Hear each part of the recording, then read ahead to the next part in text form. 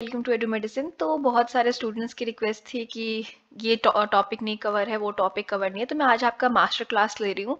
ये आपका one stop solution होगा सोशोलॉजी ऑफ़ डेवलपमेंट के लिए जो कि आपका M S O double M S O double zero three का पेपर है। एंड uh, कोशिश करिए आप कि आप कुछ बुक लेके बैठिए जो भी आपके पास हो इग्नू की बुक हो या आप जो भी एग्ज़ाम दे रहे हो। और उसी में पॉइंटर्स ऐड करते जाइए। इन सब चैप्टर्स uh, में बहुत सारे थिंकर्स हैं। तो मैं थोड़ा बहुत आपको आइडियाज़ देती जाऊँगी कॉन्सेप्ट भी क्लियर करती जाऊँगी अलॉन्ग विद दैट आपको बताती जाऊँगी कि कौन से टॉपिक इंपॉर्टेंट है जो आपको प्रिपेयर करना चाहिए। तो इस पर्टिकुलर वीडियो से आपको पूरी बुक की, या जो पूरा सोशोलॉजी ऑफ़ डेवलपमेंट है, उसका अच्छा खासा आइडिया होने वाला है। वीडियो लंबा होगा। अगर आपको मेरे बोलने की स्पीड तेज या ज़्यादा हो तो आप अपने यूट्यूब से थोड़ा मैनेज कर लीजिएगा। ओके? तो फ़र्स्ट यूनिट से शुरू करते हैं development progress and economic and social dimension ज़्यादातर आपसे देखिए इसमें कुछ खास क्वेश्चन पूछा नहीं जाता पर डेवलपमेंट एंड प्रोग्रेस के बारे में आपका पर्सपेक्टिव जानने की कोशिश की जाती है पेपर में। और थोड़े बहुत मॉर्गन कॉम्प मार्क्स स्पेंसर वगैरह के क्या आइडिया थे डेवलपमेंट को लेके, ये जानने की कोशिश की जाती है। तो मैं यहाँ पे आपको यही एक्सप्लेन करने जा रही हूँ कि डेवलपमेंट का मतलब अगर आप देखिए तो भी किसी भी चीज़ का विकास होता है प्रोग्रेस होता है एक तरीके से। ऐसे बहुत सारे वर्ड्स हैं जो बहुत एक दूसरे से मिलते जुलते हैं। इवोल्यूशन की अगर हम बात करें तो इसको संस्कृत में भी विकास बोलते हैं। इसका मतलब जो एक एक स्टेप में होता हो जैसे नहीं बच्चे चलना सीखते हैं तो फ़र्स्ट स्टेप लेते हैं सेकंड स्टेप लेते हैं या हम बड़े हो रहे होते हैं तो हम पहले आ, मतलब बॉर्न होते हैं फिर एक महीने के होते हैं तो हम स्टेप बाय सब कुछ हमारा लर्निंग का प्रोसेस भी होता है। पहले हम वर्ड सीखते हैं फिर उसको लिखना सीखते हैं फिर बोलना सीखते हैं ऑल तो इस तरीके से चीज़ें जो प्रोसेस में चलती हूँ वो एवोल्यूशन होती है। डेवलपमेंट का मतलब विकास का मतलब हर किसी के लिए अलग हो सकता है। मान लीजिए कि एक गाँव में इलेक्ट्रिसिटी आना, वहाँ के लिए विकास हो सकता है, क्योंकि वहाँ पे लाइट या इलेक्ट्रिसिटी नहीं है। बट दूसरे ही गाँव में 5G आना, वहाँ के लिए विकास हो सकता है बिकॉज़ वहाँ लाइट और जो भी चीज़ें होनी चाहिए, वो हैं। तो ये गाँव पे भी डिपेंड करता है, शहरों पर भी और देशों पर भी डिपेंड करता है। अमेरिका के लिए डेवलपमेंट कुछ और हो सकता है, भारत के लिए कुछ और हो सकता है। और प्रोग्रेस का मतलब प्रगति होता है संस्कृत में।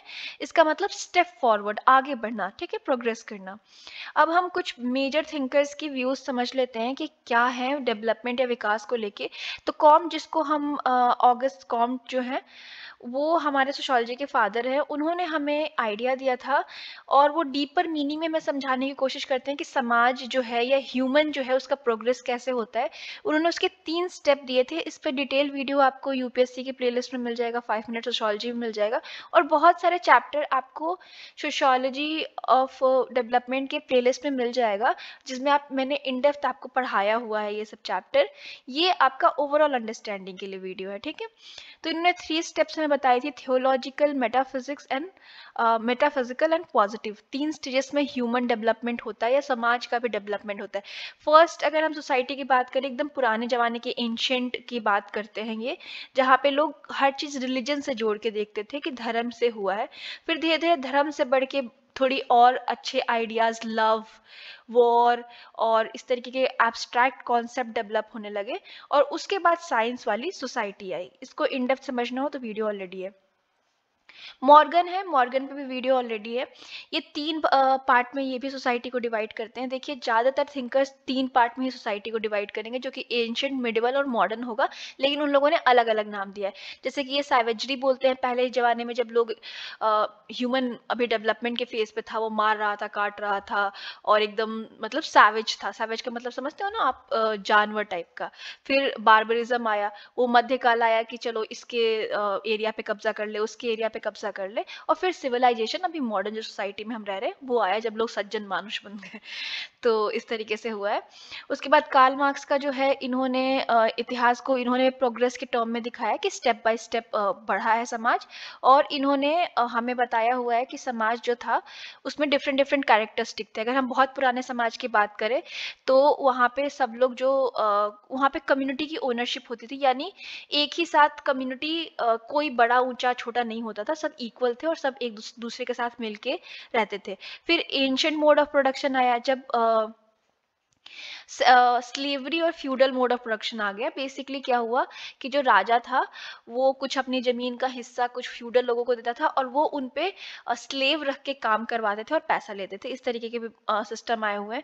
उसके बाद लार्ज स्केल का प्रोडक्शन यानी इंडस्ट्रियलाइजेशन आया और अभी जो कैपिटलिज्म हम अभी रह रहे हैं, जहाँ पे टेक्नोलॉजी वगैरह इंडस्ट्रियलाइजेशन है और एक वर्ग बहुत अमीर है और एक वर्ग बहुत गरीब है, ऐसा सिस्टम आया मार्क्स के हिसाब से। हार्वर्ड स्पेंसर जो थे वो चार्ल्स डार्विन की book the origin of species है। बहुत ही फ़ेमस बुक है। यहाँ डार्विन है वो डिस्कस करते हैं कि कैसे समाज में मा, मानव का विकास हुआ है। किस तरीके से हम बंदर से इंसान बने हैं ठीक है? तो इसी से हर्बर्ट स्पेंसर ने अपने आइडिया लिया था और इसी से इन्होंने अपनी थ्योरी डेवलप की थी।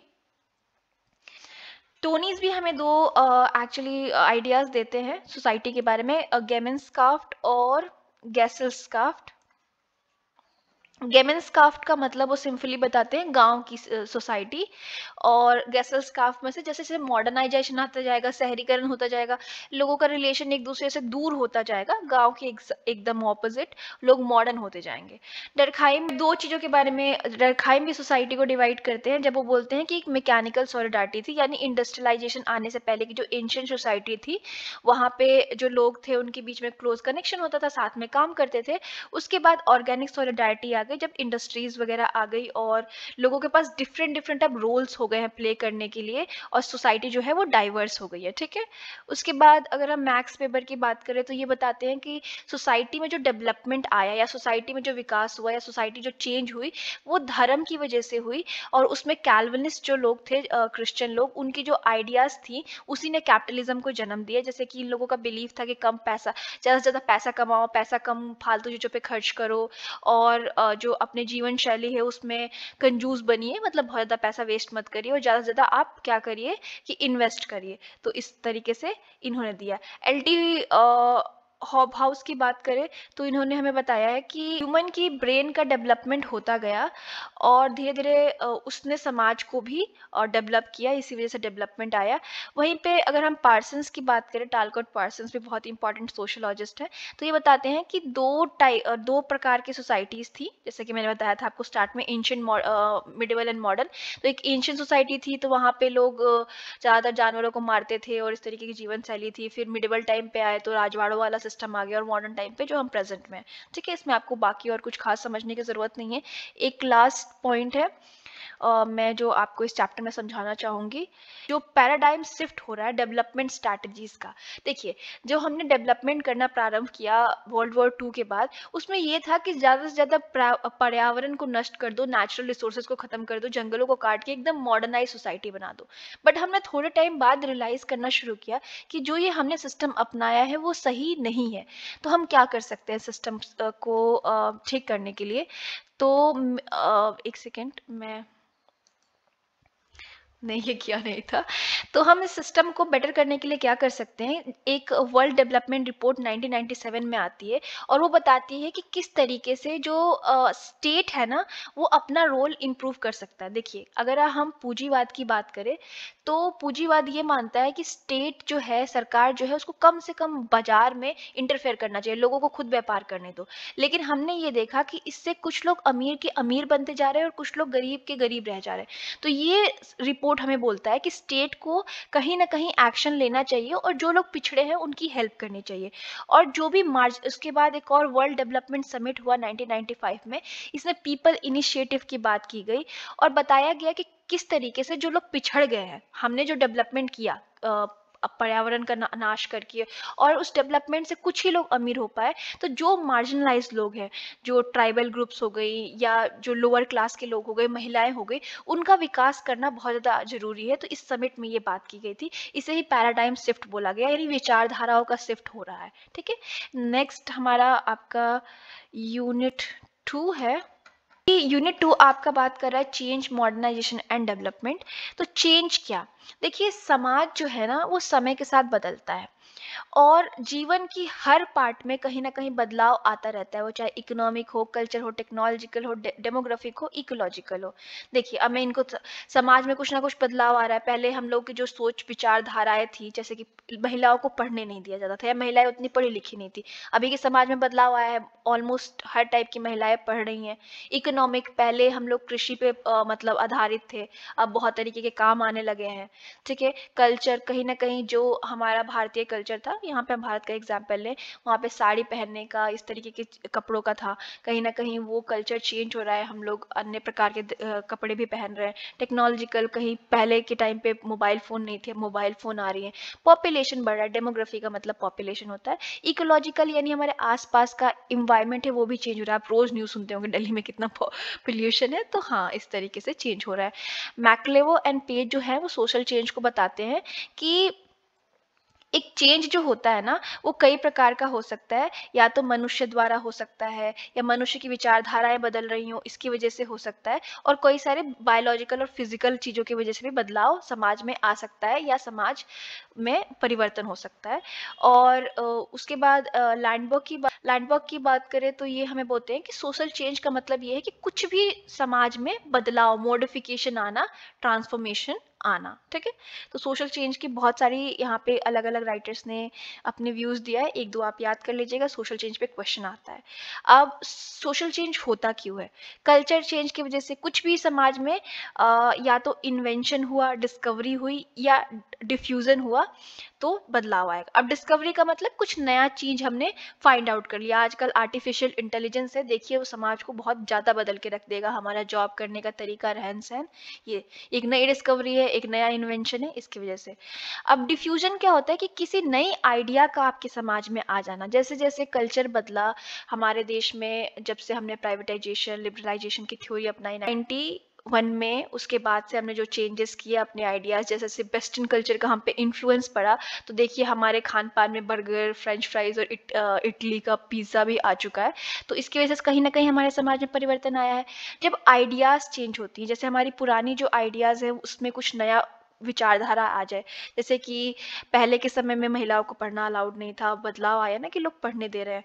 उसके बाद पॉपुलेशन में भी बदलाव आता है तो समाज में बदलाव आता है। कई बार टेंशन एंड कॉन्फ्लिक्ट भी होता है या कुछ इशू हो जाता है समाज में तो उससे भी बदलाव आता है। जैसे बहुत सारे आप आंदोलन देख लेते हैं, जैसे निर्भया कांड जब हुआ था तो उस टाइम पे बहुत आंदोलन हुआ तो कानून में बदलाव आया, समाज में बदलाव आया, लोगों की विचारधाराएँ बदली, ठीक है?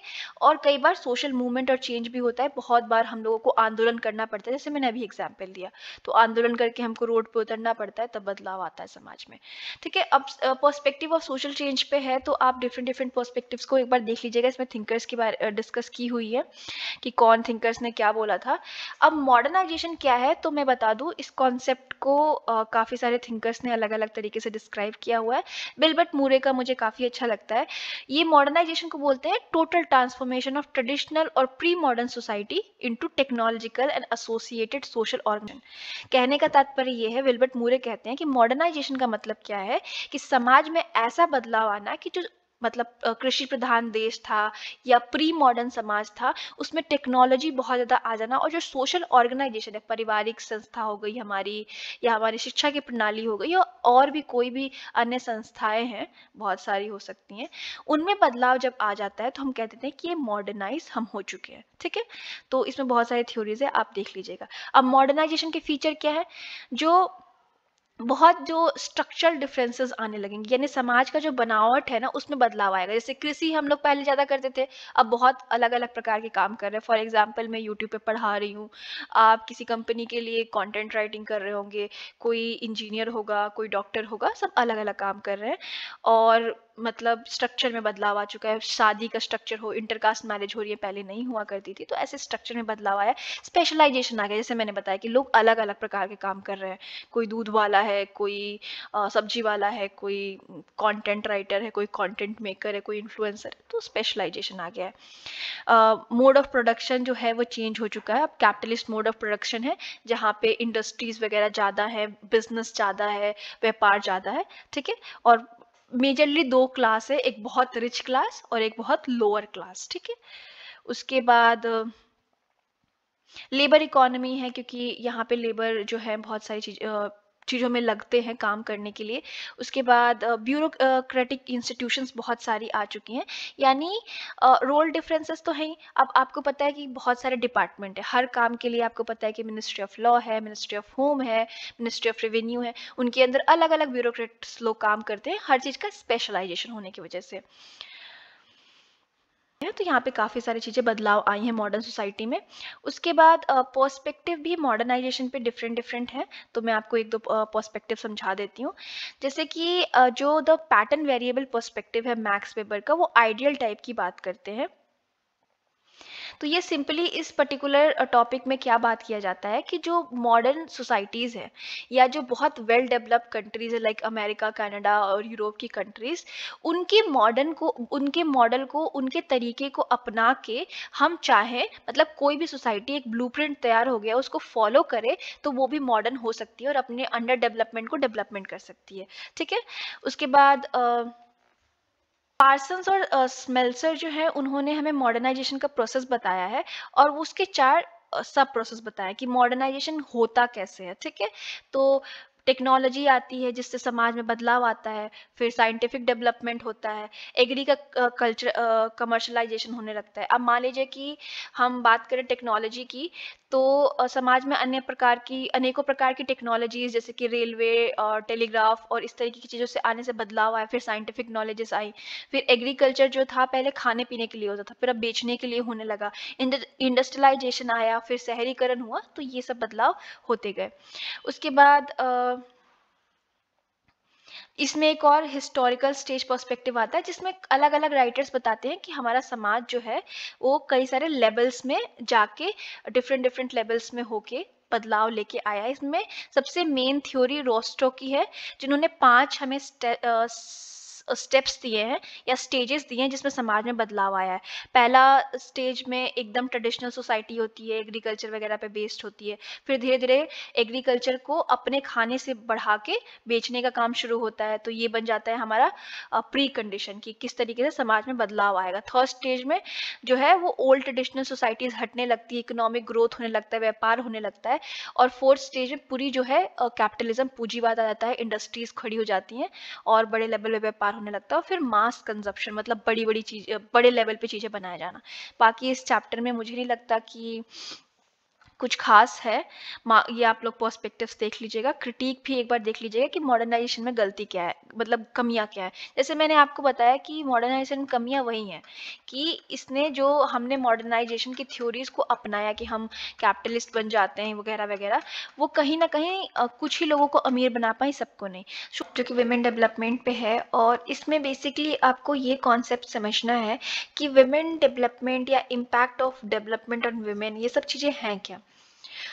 अब देखिए बेसिक कॉन्सेप्ट आप खुद समझते हैं कि वेमेन को कहाँ कहाँ डेवलपमेंट की ज़रूरत पड़ती है और कहाँ पे डेवलपमेंट सही से हो नहीं पाया है। तो उसको हम थोड़ा ओवरव्यू देख लेते हैं। अब देखिए कॉन्सेप्ट ये था कि कई लोगों ने ना जो वेमेन के लिए डेवलपमेंट के प्रोग्राम लेके लाए गए, उसको क्रिटिसाइज किया गया इस बेसिस पे कि वेमेन को ना हमेशा मदर या डिपेंडेंट के तौर पर देखा गया है। वेमेन को कभी इंडिपेंडेंटली देखा ही नहीं गया है। तो उनको, उनके लिए ना वेलफेयर मेजर्स जो लाए गए हैं, वो उस तरीके से नहीं है कि उनको विकसित करे कि वो विकास में योगदान दे सके। मतलब समझिए कि उनको शिक्षा देने का मतलब मैं नाइनटीन सेवेंटीज के पहले की बात कर रही हूँ, कि विमेन के रोल को उनके घर तक और उनके एज अ मदर होने तक ही सीमित रखा गया था। उनकी पर्सनालिटी को डेवलप करने की कोशिश नहीं की गई या उनको पढ़ाने की लिखाने की कि वो भी इकोनॉमी में बहुत बड़ा योगदान दे सकती हैं। क्योंकि क्या होता है कि जब अर्थव्यवस्था की बात आती है तो महिला भी उस अर्थव्यवस्था में आधा रोल प्ले कर सकती है, क्योंकि पॉपुलेशन में वो आधा है, ठीक है? ये रियलाइजेशन हमें 1970 के बाद हुआ कि महिलाएँ भी इकोनॉमी का हिस्सा बन सकती हैं, वो भी कमा सकती हैं, नौकरी कर सकती हैं। तो अब हम लोगों ने उसके बाद क्या बात करने की कोशिश की कि हम क्या वुमेन की प्रैक्टिकल नीड्स हैं? क्या एक जेंडर स्ट्रैटेजीज है उसके द्वारा उसको सॉल्व करने की कोशिश करें? तो एक मॉलिन मॉलनेक्स और मोसर करके राइटर हैं।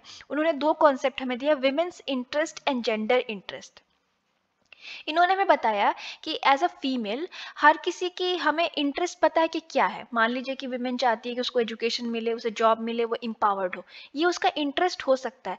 लेकिन ये जो इंटरेस्ट है या उसका नीड जो है जेंडर का नीड वो डिफरेंट हो सकता है। कैसे? मान लीजिए कि आप एक डिफरेंट क्लास से एथनिसिटी से बिलोंग करती हैं तो आपकी नीड डिफरेंट हो सकती है कंपेयर टू समन जो कि दूसरे से बिलोंग करता है। सिंपल एग्ज़ाम्पल लीजिए, जो अमेरिकन विमेन की नीड होगी, क्या वो भारतीय वेमेन जैसी होगी? नहीं, वो लोग इक्वल पे या कुछ इस तरीके की चीज़ों के लिए अभी लड़ रहे होंगे, पर अगर आप गाँव की किसी औरत से कंपेयर करें तो वो शिक्षा के लिए लड़ रही है।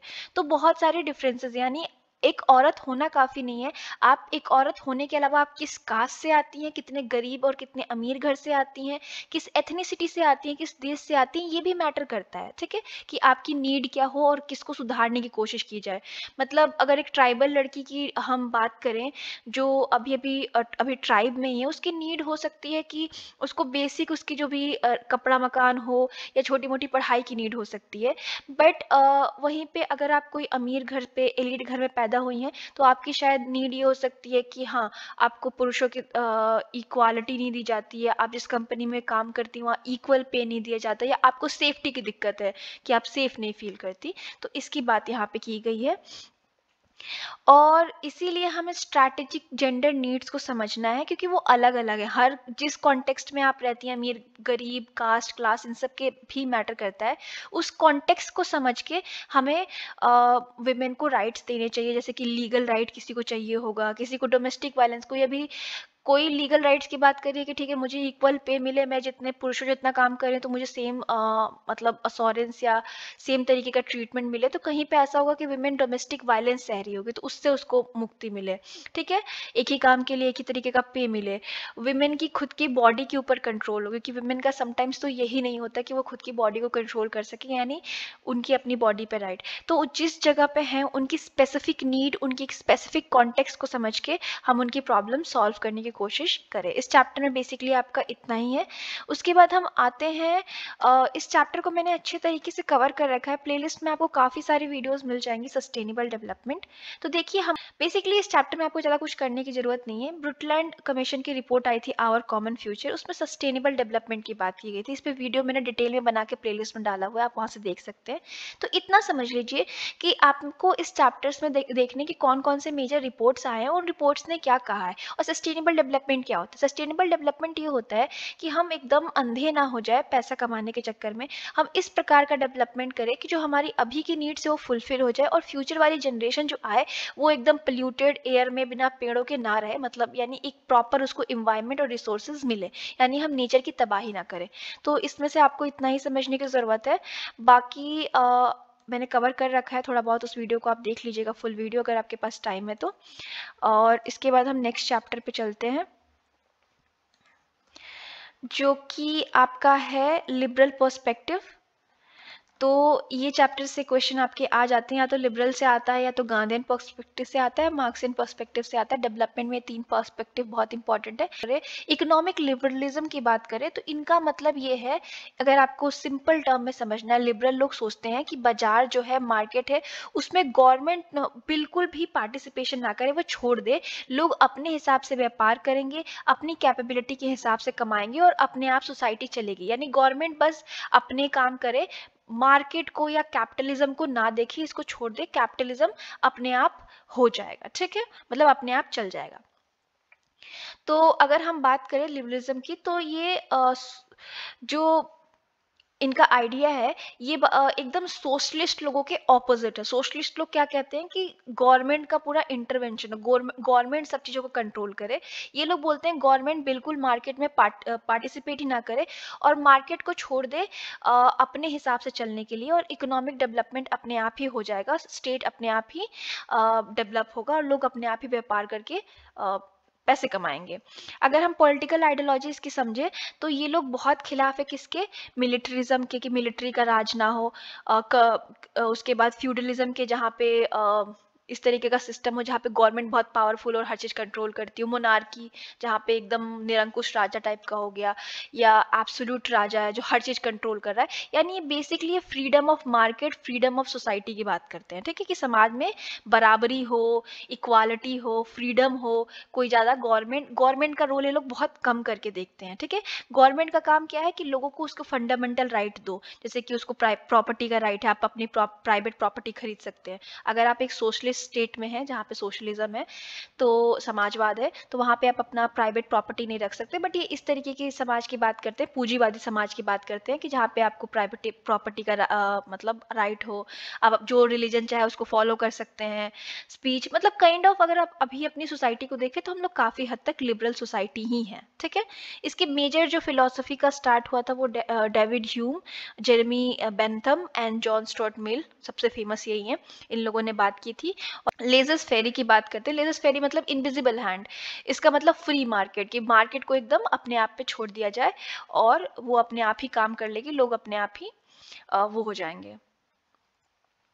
बेसिकली लिबरल स्टेट का आइडिया जो है वो बेसिकली नाइनटीन सेंचुरी में ब्रिटेन में शुरू होता है क्योंकि ब्रिटेन में इंडस्ट्रियलाइजेशन आ गया होता है और वो लोग चाहते हैं कि इस प्रकार का गवर्नमेंट या सरकार बने जो मार्केट को कंट्रोल ना करे। लोग अपने हिसाब से व्यापार करें क्योंकि कैपिटलिस्ट लोग पावरफुल होते हैं उस टाइम पे यानी पूंजीवादी लोग और अमीर लोगों को चाहिए होता है कि कम से कम उन लोगों को गवर्नमेंट उनको फोर्स करे कि वो अपने हिसाब से व्यापार कर सके तो उस टाइम पे ये डेवलप होता है। उसके बाद इसके आ, ज़्यादातर लिबरल थिंकर से चाहते हैं कि समाज में जो इनक्वालिटी है। समाज में जो असमानता है वो समाज की बहुत बड़ी मतलब सोशली कंस्ट्रक्टेड है उसको रिमूव किया जा सकता है। यानी स्टेट का क्या काम होना चाहिए कि स्टेट जो है किसी भी प्रकार की असमानता समाज में गरीबी अमीरी या इस टाइप की है उसको रिमूव करने के लिए काम करे क्योंकि हर इंसान जो है वो इक्वल और मतलब फ्री पैदा हुआ है। सब लोग फ्री हैं कोई किसी पे किसी का कंट्रोल नहीं है।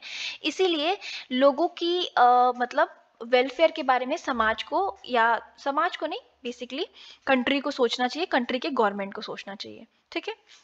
फ्री इकोनॉमी वगैरह हो, जहाँ पे कंपटीशन हो, जिसके पास जितनी एबिलिटी है, वो उतना मतलब आगे बढ़ जाएगा, ठीक है? इसके अपोज में वेलफेयर स्टेट का कमेंट आता है, एक तरीके की इस तरीके इसकी क्रिटिसिज्म या आलोचना समझ ली, लीजिए। यहाँ पे ये लोग बोलते हैं, जो वेलफेयर स्टेट को सपोर्ट करते हैं मेनार्ड केनीज जो होते हैं, वो बोलते हैं कि नहीं, अगर समाज में गवर्नमेंट जो है बिल्कुल फ्री छोड़ देगी मार्केट को तो अमीर लोग अमीर बन जाएँगे, गरीब लोगों का क्या होगा?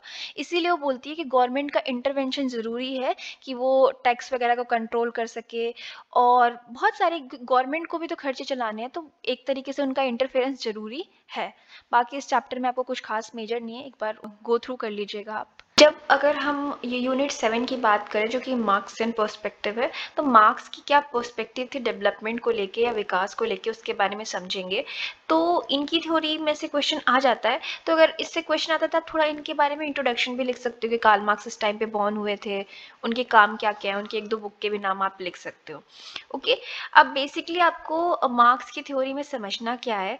तो अगर मैं आपको बहुत बेसिक बताऊँ तो मार्क्स का मानना था ना कि अभी का जो समाज है, जो पूंजीवाद समाज है, वहाँ पे एक वर्ग अपना पैसा या पूंजी को लगा के हद से ज़्यादा अमीर बनता जा रहा है, वहीं दूसरा वर्ग जिसके पास कुछ भी नहीं है, उसको उन्होंने हैव्स नॉट या बोला जाता है, वो उनका बस उन पर अत्याचार हो रहा है और वो अमीर वर्ग के लिए काम किए जा रहे हैं। बेसिक थ्योरी इनकी यही थी।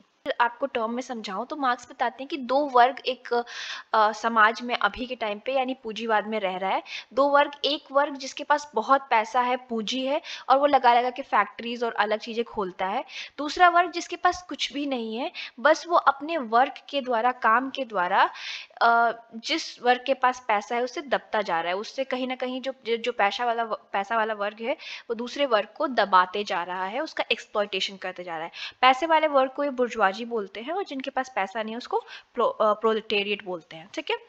अब देखिए, इन्होंने कहा कि जो बुर्जवाजी जो पैसा वाला वर्ग है, उसने बहुत काम किया है समाज में, क्योंकि जब हम मध्यकाल से आ रहे थे, जब समाज में राजवाड़ा वगैरह हुआ करता था, राजा हुआ करता था एक ये वर्ग व्यापार वगैरह करके पैसा कलेक्ट किया अपने पास और इसने टेक्नोलॉजीज़ पे बहुत इन्वेस्ट किया। आप अगर इंडस्ट्रियलाइजेशन के बारे में, पूंजीवाद के बारे में और या औद्योगिक क्रांति के बारे में पढ़ेंगे तो आपको एक चीज़ पता चलेगी कि औद्योगिक क्रांति तभी हुई जब टेक्नोलॉजी आई नई नई टेक्नोलॉजीज़ आने की वजह से हुआ ओके okay? तो इसके लिए जो पैसा था, वो इस पूंजीवादी वर्ग ने या जो बुर्जुआजी है, उन्होंने ही खर्च किया और ये बहुत बड़ा फोर्स थे जिसकी वजह से आज का जो कैपिटलिज्म पूंजीवाद हुआ है, वो आ सकता है लेकिन उन्होंने काफ़ी ज़्यादा पैसे से मतलब समाज को एकदम रिवोल्यूशनरी बना दिया, लेकिन एक और चीज़ इसके साथ हुई कि समाज में एक कॉस्मोपॉलिटन कैरेक्टर आ गया प्रोडक्शन एंड कंजम्पशन का।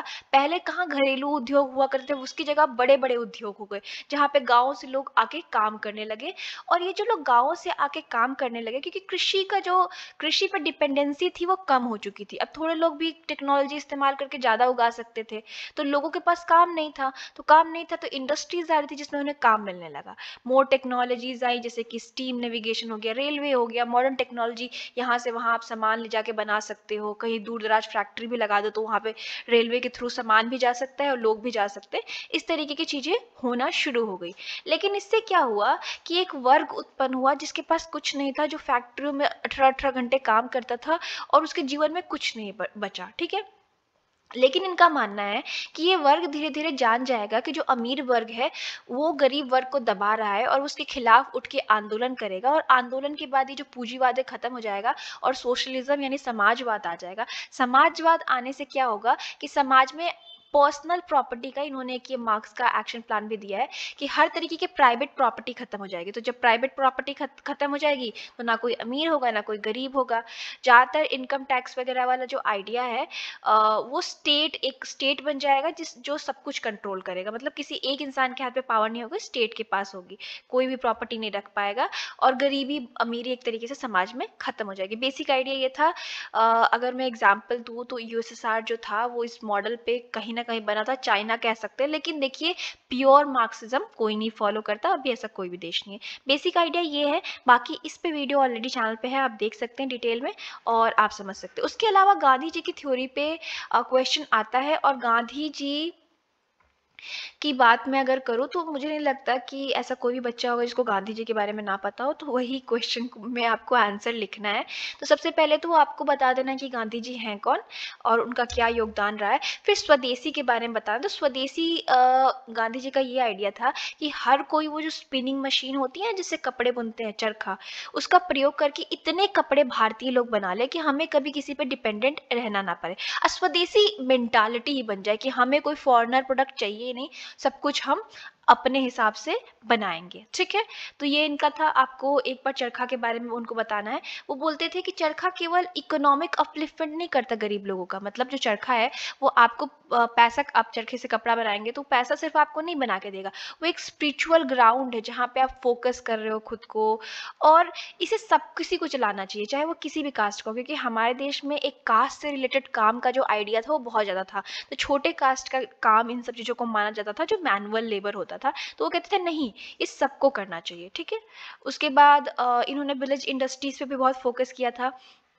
क्योंकि ये हमेशा कहते थे, जब भी गांधी जी की बात आए तो ये बहुत ज़्यादा खिलाफ थे, बहुत ज़्यादा फैक्ट्रीज इंडस्ट्रीज़ लाने के या न्यू टेक्नोलॉजीज़ लाने के, बोलते थे कि इससे नौकरियाँ चली जाएँगी। और ज़्यादा से ज़्यादा गाँव अपने आप में इंडिपेंडेंट हो मतलब गाँव में ही सब कुछ बना लिया जाए, वहाँ से बाहर ना जाने पड़े। इस तरीके की विलेज इकोनॉमी वाले आइडिया पे बहुत फोकस करते थे और बोलते थे कि हैंड से बनी हुई चीज़ें वगैरह ही ज़्यादा इस्तेमाल करनी चाहिए। एजुकेशन में इन्होंने नया कॉन्सेप्ट लेके आया था लेके आए थे जो कि था नई तालीम और नई तालीम में बेसिकली फोकस ये दिया गया था कि आप ज़्यादा से ज़्यादा बच्चों को मैनुअल लेबर स्किल सिखाओ और हर काम को इज़्ज़त करना सिखाओ। यानी कोई भी ऐसा ना सोचे कि मैं फलाने कास्ट से हूँ तो मैं ये नहीं काम कर सकता। चमड़े का काम से लेके सूत काटने का काम हर कोई मिलके कर रहा है और हर बच्चा स्किल भी सीख रहा है और मॉडर्न साइंस एंड टेक्नोलॉजी भी सीख रहा है। तो इस तरीके की नई तालीम थी। अगर आपको इस पर डिटेल वीडियो देखना है तो ये भी ऑलरेडी चैनल पे है। उसके बाद इन्होंने स्वदेशी का डिमांड इसलिए किया था कि विलेजेस उस टाइम पे अंग्रेज़ भारत पे अपने सामान लाके थोपने लगे थे। तो ये सही टाइम था कि भारतीय लोग जागरूक हों और ये माने। थे कि आप भारत के बने हुए कपड़े पहनिए। गांधी जी का ये भी आइडिया था कि हम सेल्फ गवर्नेंस करें सेल्फ रिलायंस करें सेल्फ एम्प्लॉयमेंट करें और स्पेशली विलेज की इकोनॉमी जो है ना उसको उसको बहुत ज़्यादा बढ़ावा दें। ठीक है मेजर ये गोल था गांधी जी का।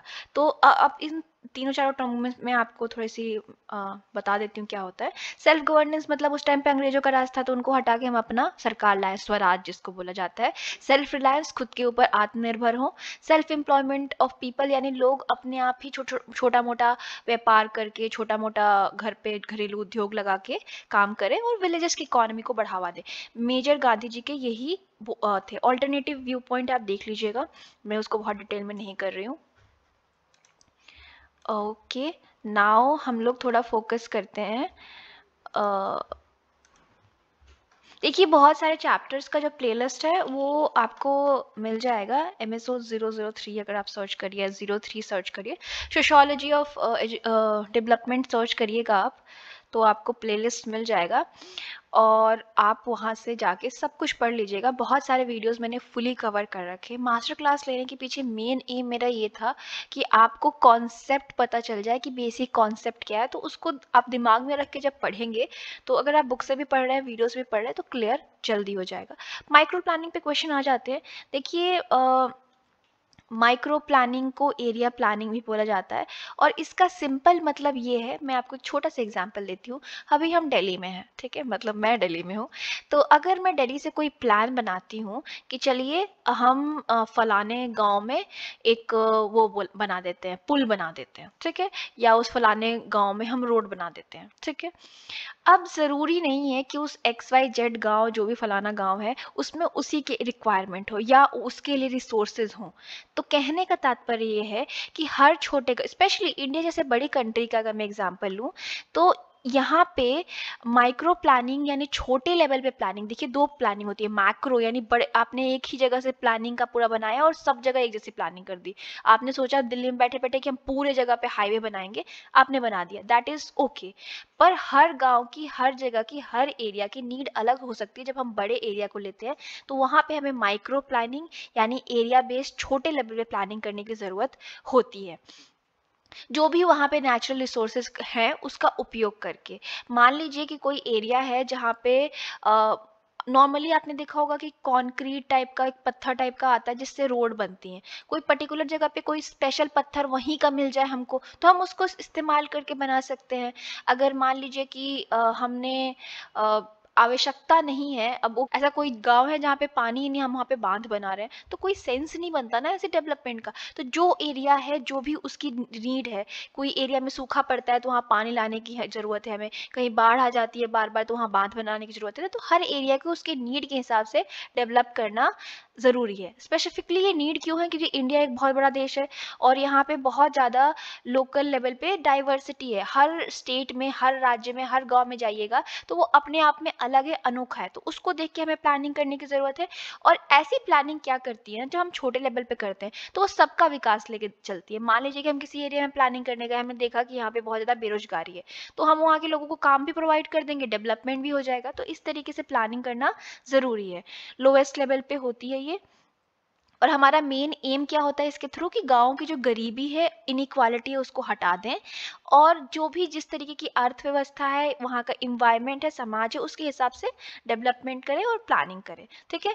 अगर हम बात करें कि भारत जब आज़ाद हुआ तो क्या समस्या थी? तो हमने आपको पता होगा कि भारत ने, भारत की प्लानिंग करने के लिए भारत में विकास करने के लिए भारत ने बहुत सारे पाँच ईयर के प्लान्स बनाए थे। तो दो प्लान्स आपको पता है कि एक तो इंडस्ट्रीज़ पे फोकस था एक एग्रीकल्चर पे फोकस था तो उसने माइक्रो लेवल पे ध्यान नहीं दिया। भारत हमने दिल्ली में बैठ के प्लान बनाया और हर जगह लगा दिया।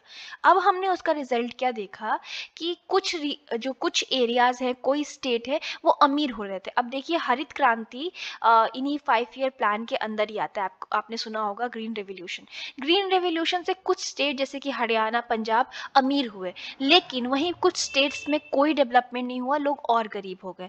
तो इससे क्या हम लोगों ने जो इमेजिन किया था, उस प्रकार से हमने विकास नहीं किया। यानी एक जगह गरीब हो रहा था, एक अमीर हो रहा था। तो हमें तो ऐसा नहीं चाहिए, भारत में हर कोई मतलब एक जीवन शैली जीना चाहिए और सब लोगों को इक्वालिटी होनी चाहिए और हर एरिया में डेवलपमेंट होना चाहिए। तो हमने ग्रोथ सेंट्रिक जो आइडिया था उसको माइक्रो प्लानिंग की तरफ़ हमने मोड़ा या ग्रास रूट डेवलपमेंट भी इसको बोलते हैं एकदम जड़ से प्लानिंग करना ठीक है? तो जो आगे के हमने आ, मतलब फाइव ईयर प्लान्स लेके हम आते हैं उसमें हमने कोशिश की कि हम लोअर लेवल से प्लानिंग करना शुरू करें। ठीक है? तो ये आपको, मुझे लगता है कि कॉन्सेप्ट समझ में आ गया होगा।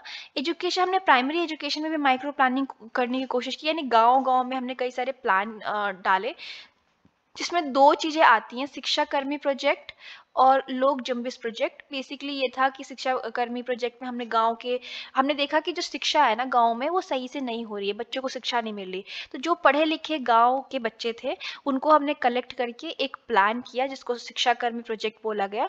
और इन लोगों को बोला गया कि आप पढ़ाइए, और गाँव के लोगों को कहा गया कि ध्यान दीजिए कि लोग सही से पढ़ा रहे हैं कि नहीं। इस तरीके की व्यवस्थाएँ की गई। उसके बाद अगर हम बात करें तो seventy third seventy fourth amendment act याद रखिएगा। सेवेंटी थर्ड अमेंडमेंट एक्ट से गाँव में लोकल पंचायत आती है और सेवेंटी सेवेंटी फोर्थ एक्ट से आता है गाँव में सॉरी शहरों में एक म्यूनिसपैलिटी बॉडी ये एकदम लोकल लेवल की बॉडी है जो गाँव से लेकर डिस्ट्रिक्ट लेवल तक पे काम करती है और ये बहुत ज़रूरी था आपको पता होना चाहिए माइक्रो प्लानिंग के लिए क्योंकि अगर हमारे पास गवर्नमेंट भी वहीं से आती है, अब मान लीजिए कि स्टेट गवर्नमेंट हर गाँव का अंडरस्टैंडिंग तो नहीं है ना उसको स्टेट गवर्नमेंट को, एक मान लीजिए यूपी की सरकार है, उसको तो नहीं पता ना कि दूर दराज के यूपी के गाँव में क्या रिक्वायरमेंट है। तो इस तरीके की गवर्नमेंट लोकल गवर्नमेंट लाने का भी एम यही था कि हम विकास कर सके, क्योंकि ये लोग हमें बताएँगे क्या से क्या ज़रूरत है। इस चैप्टर में भी ऑलमोस्ट आपका सब कुछ हो गया। अब एथनो डेवलपमेंट क्या होता है? एथनो डेवलपमेंट भी माइक्रो प्लानिंग जैसा ही होता है और सस्टेनेबल डेवलपमेंट का मिक्स होता है। अब इसको सिंपल तरीके से समझिए कि मान लीजिए कि आप कोई भी भारत के दूर दराज के गाँव में रहते हैं, ठीक है? अब हर जगह रोड बना देना, बाँध बना देना या जो वेस्टर्न आइडिया है फैक्ट्री लगा देना, क्या यही विकास है? तो इसका आंसर साफ़ होगा नहीं। मान लीजिए कि मॉडर्न जो हेल्थ केयर है या मॉडर्न जो टेक्नोलॉजी हम इस्तेमाल कर रहे हैं या अपने स्वास्थ्य के ही लिए ही मान लीजिए, वो दवाइयाँ बहुत अच्छी हो सकती है, जो अंग्रेज़ी दवाइयाँ हम खा रहे हैं। लेकिन क्या देसी जो दवाइयाँ हैं, वो काम नहीं करती? क्या कोई जड़ी बूटियों को हम प्रयोग कर रहे हैं, वो काम नहीं करता? तो एथनो डेवलपमेंट का मतलब ये है कि जो कल्चरली आपके समाज में है ऑलरेडी उसी को डेवलप करना, ना कि हम ब्लाइंडली अंग्रेज़ों के जो आइडियाज़ हैं या वेस्टर्न आइडियाज़ हैं, उनको फॉलो करना। ठीक है?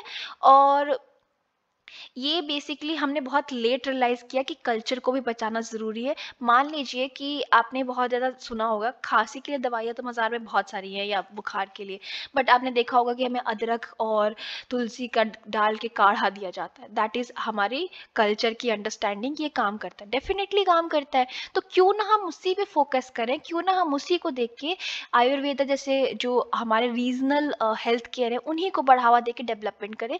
ज़रूरी नहीं है कि अगर आप वेस्ट वेस्टर्न पाथ फॉलो करेंगे तभी डेवलपमेंट होगा। यही एथनो डेवलपमेंट का आइडिया है कि जो एथनिसिटी जो लोकल लेवल की नॉलेज है उसी का प्रयोग करके हम विकास करें ठीक है? अब जैसे जो हम लोगों ने ग्रोथ कॉलोनियल आइडियाज़ को अपना के बनाया था कि फैक्ट्रीज लगा दो पर्यावरण का नाश कर दो उसने कुछ नहीं किया कोई डेवलपमेंट नहीं किया बल्कि हमें और निर्भर बना दिया ठीक है?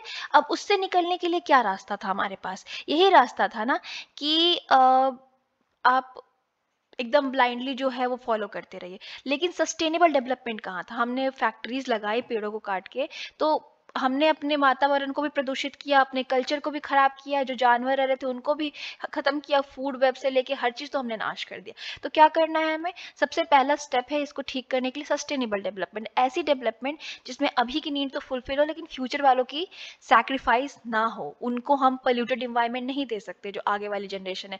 सब खत्म करके हम नहीं जा सकते। कहाँ रहेंगे वो लोग? तो इसीलिए कल्चरल कंसिडरेशन को लाया गया डेवलपमेंट में, जिसकी जो कल्चर है, जो कल्चर की रिक्वायरमेंट है कल्चर की जो नॉलेज है, उसी को यूज़ करके हम डेवलपमेंट करेंगे अपना। ठीक है? ये एक ऑल्टरनेटिव अप्रोच भी था एथनो डेवलपमेंट कैसे देखिए 1970 तक हमने डेवलपमेंट किया क्या? एकदम वेस्टर्नाइजेशन को फॉलो करके कि फैक्ट्री लगा दो, पेड़ काट दो, यही डेवलपमेंट है, इसी से विकास होगा। लेकिन जब इसके रिज़ल्ट सामने आए तो हमें पता चला कि बस एक तबका, एक वर्ग है, वो अमीर बन गया इंडस्ट्रीज़ बना के, बाकी लोग तो गरीब के गरीब रह गए। यानी जो हम फॉर्मूला अपनाए हैं, वो ठीक नहीं है। तब लोगों के अंदर ऑल्टरनेटिव यानी लोकल लेवल पे development grass root development micro development ethno development जैसे आइडियाज़ उनके सामने आते हैं। और इसीलिए इसे हैटने ने प्रेजेंट किया है एज अ अनदर डेवलपमेंट दूसरे टाइप का डेवलपमेंट जहाँ पे basic need self reliance sustainable and endogenous development पे फोकस हो। यानी आपकी जो भी बेसिक नीड है वो फुलफिल हो रही है। यानी रोटी, कपड़ा, मकान मिल रहा हो हेल्थ केयर मिल रहा हो, आप ठीक है। उसके बाद आप अपने ऊपर डिपेंडेंट है, ना कि किसी फैक्ट्री के ऊपर, ना किसी सेल्फ रिलायंस अब अपने ऊपर डिपेंडेंट है, लोग अपने ऊपर है सस्टेनेबिलिटी है, यानी हम तबाह नहीं कर रहे हो नेचर को, और जो भी आपकी लोकल इंडोजिनस डेवलपमेंट है इंडोजिनस नॉलेज है, उसी का प्रयोग कर रहे हैं। ठीक है ये ऑल्टरनेटिव अप्रोच के तौर पे आया था, और जो भी कल्चर की रिक्वायरमेंट है, उसी के हिसाब से हम डेवलपमेंट करेंगे। जो मेन स्ट्रीम का आइडिया था मेन स्ट्रीम का आइडिया क्या था? कल्चर वल्चर कुछ नहीं देखना। वेस्टर्न ने किया है फैक्ट्रीज लगाई हैं, उसमें बड़े बड़े प्रोडक्ट्स बनाए हैं, बेचा है पूरी दुनिया में और अमीर बन गए। That was the main stream idea कि हर जगह यही करिए, यही डेवलपमेंट का तरीका है। बट ऑल्टरनेटिव अप्रोच कहता है नहीं लोकल पे फोकस करना पड़ेगा। वोकल लोकल फॉर लोकल एक हमारा आया भी था बीच में, हमने एक पूरा कैंपेन चलाया था तो बिल्कुल लोकल पे फोकस करिए। ज़रूरी नहीं है कि हर कोई फैक्ट्रीज लगा के, सामान बना के अमीर बन जाएगा, एक बन गए, वो बन गए, ठीक है? तो बेसिक आपका यही आइडिया था, इसमें और कुछ है नहीं। और आप ये देख लीजिएगा, काफ़ी इजी चैप्टर्स है। मतलब sociology of development is one of the most easy आपके सारे कोर्स में। और मेरा फेवरेट एक्चुअली काफ़ी ज़्यादा मतलब ऐसी सोशोलॉजी पढ़ने से आपको काफ़ी नॉलेज आती है बट जहाँ पे डेवलपमेंट और इस टाइप की चीज़ें फोकस किया गया है, वहाँ पे आपकी जो अंडरस्टैंडिंग है सोसाइटी के बारे में, वो काफ़ी बढ़ जाती है। अब हम चार चैप्टर्स को छोड़ रहे हैं, जिसमें केस स्टडीज़ है डिफरेंट डिफरेंट कंट्रीज़ की, कि वहाँ पर डेवलपमेंट कैसे हुआ। मैं इसलिए नहीं करा रही बिकॉज़ उसमें सिर्फ़ डेटा है, समझाने वाली कोई चीज़ नहीं है। वो बताया गया है कि किस तरीके से किस कंट्री ने डेवलपमेंट किया। मैं एडवाइस करूँगी कि क्वेश्चन तो ज़रूर आता है उससे। एक बट आप छोड़ दीजिए उन चार चैप्टर को और डायरेक्टली आप ट्वेंटी चैप्टर पे आइए, जो कि है economic, social and cultural dimension of globalisation. मुझे ऐसा नहीं लगता कि कोई बच्चा भी जो वीडियो देख रहा है उसे ग्लोबलाइजेशन नहीं पता नहीं पता तो आप कॉमेंट में लिखिए, फिर देखते हैं। तो देखिए, ग्लोबलाइजेशन का सिंपल मतलब क्या होता है, हमारी इंटरकनेक्टनेस जो है वो बढ़ गई है। हम इंटर, जो कनेक्टेड हैं, वो हम बहुत ज़्यादा हो चुके हैं और इसका मतलब ये है कि हर जगह से मतलब दुनिया जो है एक, वो पूरे गाँव की तरह बन चुकी है। वो चाहे आर्थिक रूप पे हो, सामाजिक रूप पे हो कल्चरल तौर पे हो, राजनीतिक तौर पे हो या टेक्नोलॉजी के तौर पे हो। आप एग्ज़ाम्पल देखिए कि कई सारी दवाइयाँ जो थी, अमेरिका में, कैनेडा में बनी, या भारत में बनी, वो पूरे देश में फैल गई जब कोविड आया था। हर देशों को एक, दूसरी कंट्रीज़ ने मतलब तो कंट्रीज़ ने एक दूसरे को, जो भी उनका नॉलेज डेवलप किया कोविड के टाइम पे, एक दूसरे को हेल्प करने के लिए बांटा। तो यानी ग्लोबलाइजेशन के बीच ये होता है कि हम एक दूसरे से बहुत ज़्यादा कनेक्ट होकर रह जाते हैं। ये कुछ ग्लोबलाइजेशन के एजेंट्स इनको देख लीजिएगा क्वेश्चन इस पर नहीं आता। अब the future of present day globalization की बात करें कि ठीक है, चलो अभी का ग्लोबलाइजेशन कैसा है? तो मान लीजिए कि मैं अभी यहाँ बैठ के वीडियो अगर बना रही हूँ तो कोई अमेरिका का भी इंसान आराम से मेरी वीडियो को देख सकता है। ऑफकोर्स देख नहीं रहा है बट देख सकता है। आप भारत में चाहते चाहते बैठे बैठे आप अमेरिका में कनाडा में या ऑस्ट्रेलिया में काम कर सकते हो। वहाँ का कोई इंसान हमें पढ़ा सकता है। यहाँ का इंसान कोई उनका जाके आ, कोई बिल्डिंग बना सकता है उसका आर्किटेक्चर तैयार कर सकता है तो आज का जो ग्लोबलाइजेशन है वो इस पे फोकस है ठीक है? उसके बाद इसमें मैं ऐसे एग्ज़ाम्पल से आप थोड़ा सा देख लीजिएगा। अब इकोनॉमिक की बात करें तो एक तो सबसे मेजर चीज़ अगर हम ग्लोबलाइजेशन की देखें तो लिबलाइजेशन आ गया है यानी डिस्ट्रैक्ट रिस्ट्रिक्शंस या जो रोक होती हैं वो कम है। आप कहीं से कहीं व्यापार कर सकते हैं। आप चाहें तो सिंपली भारत से कोई सामान अगर बाहर आपको भेजना हो व्यापार के तौर पे तो आप आराम से कर सकते हैं। कोई खास रिस्ट्रिक्शंस नहीं है। उसके अलावा प्राइवेटाइजेशन पे बहुत ज़्यादा फोकस दिया गया है। ठीक है? मतलब देखिए अगर मैं लिबरलाइजेशन की बात करें इंडियन पॉलिसी ने किया तो क्या किया कि जो आ, स्टेट ज़्यादा इंटरफेयर करता था इकोनॉमिक सेक्टर में उसको छोड़ दिया। अगर आपको व्यापार करना है किसी आ, अमेरिका से कनाडा से फ्रांस से तो इतना गवर्नमेंट उसमें इंटरफेयर नहीं करेगी आप डायरेक्टली कर सकते हो ठीक है? उसके बाद आ, अगर हम प्राइवेटाइजेशन की बात करें तो प्राइवेटाइजेशन क्या हुआ कि पहले के समय पे ज़्यादातर क्या होता था कि जो गवर्नमेंट होती थी ज़्यादातर सेक्टर्स को कंट्रोल करती थी बड़ी बड़ी फैक्ट्रीज वगैरह को देखती थी, लेकिन धीरे धीरे प्राइवेटाइजेशन हो गया। प्राइवेटली आपके पास पैसा है तो आप बनाइए बड़ी फैक्ट्री है उसमें सामान बनाइए, बेचिए, ठीक है? तो ये चीज़ हो गई। उसके अलावा जो फॉरेन डायरेक्ट इन्वेस्टमेंट एफडीआई होता है, वो भी बहुत बड़ा एक रीज़न बन गया। कोई भी कहीं भी इन्वेस्ट कर सकता है, खरीद सकता है, वो कर सकता है। एप्पल जैसी कंट्री एप्पल जैसी कंपनीज़ बहुत सारे देशों में काम करती हैं तो ये सब चीज़ें हुई। उसके अलावा जो है काफ़ी सारी इंटरनेशनल ट्रेड रेगुलेटरी बॉडीज़ जैसे कि W T O I M F ये सब चीज़ें आ गई, इनके बारे में थोड़ा बहुत आप जानते होंगे, ये सब बेसिकली यूएन का हिस्सा है जो व्यापार कैसे होगा उसकी एग्रीमेंट कैसे होंगे व्यापार को कैसे हेल्प किया जाएगा कैसे रिस्ट्रिक्शंस को कम किया जाएगा व्यापार को आ, मतलब मॉनिटर करना इन सब चीज़ों का काम ये सब करती हैं।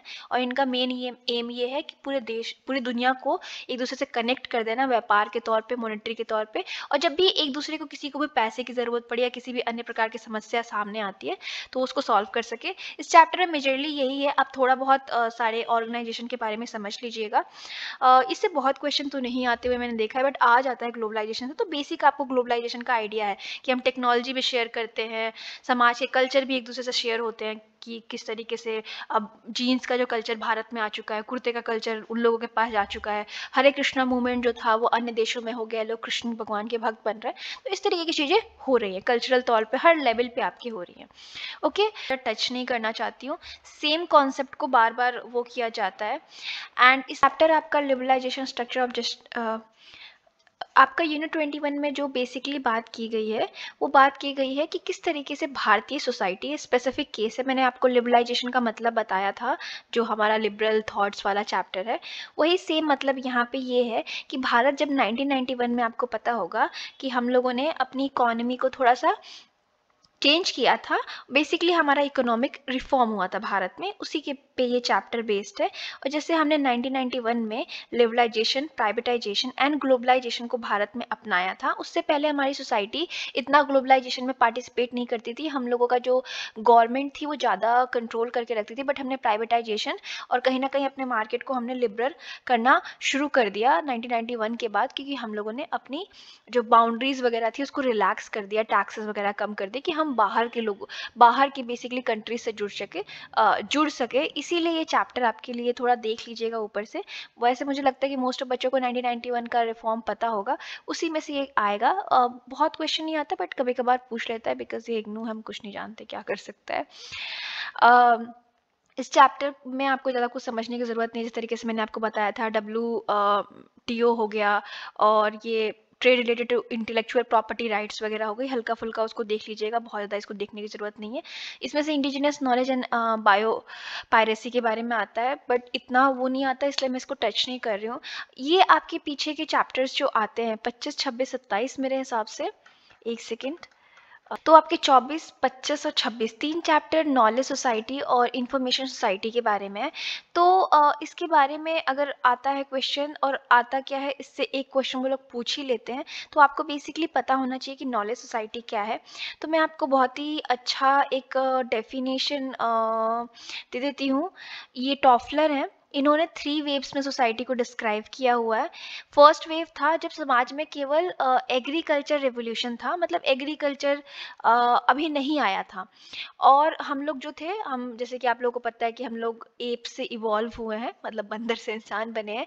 तो उसके बाद हम उस टाइम पे हंटिंग और गैदरिंग किया करते थे। बेसिकली हम लोग जंगलों में रहा करते थे और सामानों को उठाया करते थे या जानवरों को मार के खाते थे। उसके सबसे पहला हमारे समाज में रेवोल्यूशन क्या आया? उसे न्यूलिथिक रेवोल्यूशन भी कहते हैं वैसे।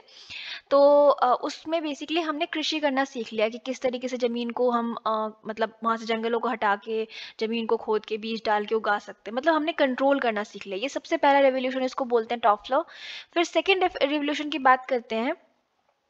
जब हमारा बेसिकली एग्रीकल्चर से हम इंडस्ट्री वाले फ़ेज़ में आए कि लोगों को लोगों ने गाँव छोड़ के शहरों में इंडस्ट्री के पास आसपास रहने लगे और एजुकेशन भी ऐसा होने लगा कि हम इंडस्ट्री में काम करें।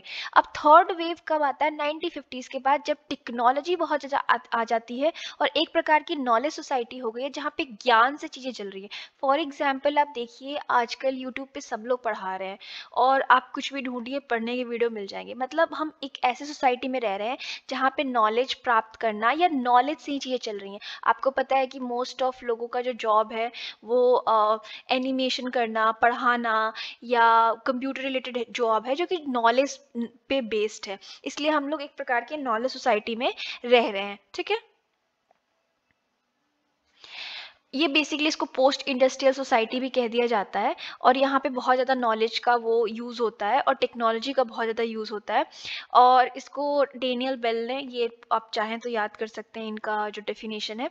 इन्होंने बताया है कि ऐसी सोसाइटी नॉलेज या इन्फॉर्मेशन सोसाइटी ये इंटरचेंजेबली यूज़ करते हैं, दोनों अलग होता है बट इस पर्टिकुलर बुक में बहुत ज़्यादा इंटरचेंजेबली यूज़ हुआ है इन्फॉर्मेशन सोसाइटी या नॉलेज सोसाइटी तो बताते हैं कि ऐसे समाज में जो साइंस है, वो बहुत बड़ा रोल प्ले करता है और प्रोफेशनल साइंटिफिक एंड टेक्निकल जो ग्रुप्स है ना, इन्हीं का इसमें बहुत ज़्यादा मांग है और डिमांड है। आप देखिए, आज के टाइम पे आप डॉक्टर बन जाइए इंजीनियर बन जाइए बीटेक आपने कर रखी है, अगर कंप्यूटर साइंस में, तभी आपके लिए जॉब है एनिमेशन बनाते हैं या आप कॉन्टेंट डेवलप करते हैं या आप पढ़ाते हैं तो यही सब चीज़ें चल रही हैं। मशीन सॉफ्टवेयर टेलीकोम्युनिकेशन ब्रॉडकास्टिंग से बेस्ड है। इससे पहले वाले समाज में देखिए तो वहाँ पे फैक्ट्री में चीज़ें बन रही थी। जूते, कपड़े या ये सब चीज़ें। अभी हमारा फोकस का है? नॉलेज पे तो नॉलेज सोसाइटी ठीक है?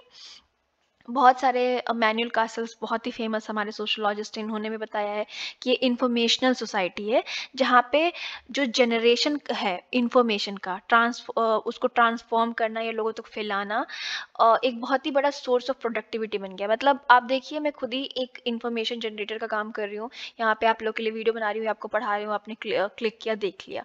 तो इस टाइप की सोसाइटी है और यहाँ पे ईजिली इन्फॉर्मेशन नॉलेज मिल जाती है, ठीक है? और यहाँ पे ज़्यादातर जो आइडिया है वो इंटेलेक्चुअल प्रॉपर्टीज़ पे ज़्यादा फोकस्ड है कंपेयर टू नॉर्मल प्रॉपर्टी मतलब इंटेलेक्चुअल प्रॉपर्टी आपको पता है ना नया इन्वेंशन हुआ तो पेटेंट करा लिया कॉपीराइट करा लिया ट्रेडमार्क करा लिया इस टाइप के आइडियाज़ पे। ठीक है? और अनरिस्ट्रिक्टेड एक्सेस ऑफ़ नॉलेज है ठीक है?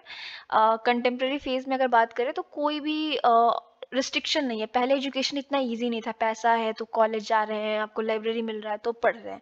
आज के टाइम पे आप एक क्लिक से कहीं भी यूट्यूब पे और भी बहुत सारे प्लेटफॉर्म है जहाँ से आप पढ़ाई कर सकते हैं।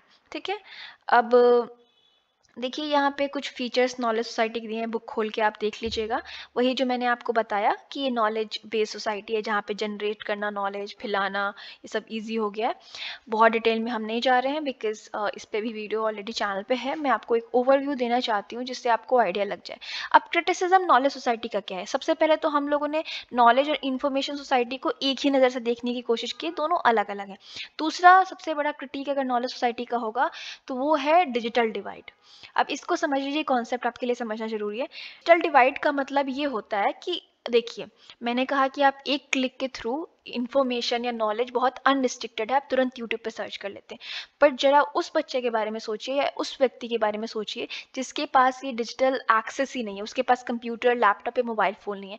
आज के समय में बहुत ही कम ऐसा तबका होगा जिसके पास नहीं होगा बट जिसके पास नहीं है, वो कितना पीछे है, जिसके पास है और जो सही उपयोग कर रहा है। इसी को डिजिटल डिवाइड कहते हैं कि हर किसी के पास डिजिटली आपको एक्सेस करना इन्फॉर्मेशन बड़ी समस्या नहीं है। डिजिटली आपके पास इतनी सारी चीज़ें हैं कि आप उस नॉलेज तक पहुँच पा रहे नॉलेज तो फ्री फ्लोइंग है, हर जगह है, पर उस तक पहुँचने का रास्ता के सबके पास है? तो बेसिकली ये क्रिटिसिज्म में आपका आएगा। उसके बाद internet as a mass media इसमें बेसिकली इस चैप्टर में डिस्कस किया गया है नॉलेज सोसाइटी का ही क्रिटिक कि, और आपको मास मीडिया एक्सप्लेन करना पड़ेगा। मास मीडिया को आप इस तरीके से समझ लीजिए, जो जो इस प्रकार का सिस्टम है, जो एक से ज़्यादा लोगों से एक ही टाइम पे एक तरीके से इन्फॉर्मेशन पहुँचा सकता है। पहले के ज़माने में हमारा न्यूज़पेपर रेडियो हुआ करता था टेलीविज़न हुआ करता था नाउ इंटरनेट आ चुका है। तो इसके बारे में थोड़ा थोड़ा आप पढ़ लीजिएगा लास्ट चैप्टर में आपको काफ़ी हेल्प हो जाएगा। और इसका इम्पैक्ट क्या हो रहा है मास मीडिया का सोशल कल्चर लाइफ पे? तो आप देखिए मास मीडिया हम अमेरिकन शोज़ देख के हमारी जीवन शैली थोड़ी अमेरिकन इम्पैक्ट पड़ जाता है। या जो भी हम देख रहे होते हैं रील्स ट्रेंड वगैरह, उसका भी इम्पैक्ट हम पे पड़ने लगा है। तो इन सब चीज़ों के बारे में खान पान पे रहन सहन पे, इसके बारे में डिस्कस कर लीजिएगा। और आई थिंक आपका मास्टर क्लास मैंने ऑलमोस्ट सब कुछ इंपॉर्टेंट जितना कुछ था कवर कर लिया है। All the best for the examination और प्लीज़ अपने फ्रेंड्स के साथ शेयर करिएगा इस वीडियो को। Thank you so much have a nice day